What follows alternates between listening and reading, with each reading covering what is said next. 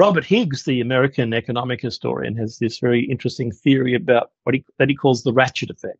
Every time there's a crisis, people say, oh my goodness, the government has to do something. The government reacts to um, the demand of the electorate and, and, the intelligentsia and introduces all sorts of uh, legislation and controls and so on uh, to quote unquote solve the problem.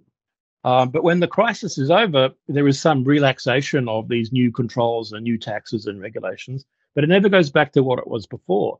So if you have a wave of crisis after crisis after crisis, the ratchet effect is that it goes up, doesn't come back down to where it was before, then goes up again and ratchets up. And we've been seeing a, a classic example of that since the 9 11 attacks um, in the US, um, the global financial crisis of 2009, um, and now, of course, with the COVID uh, lockdowns.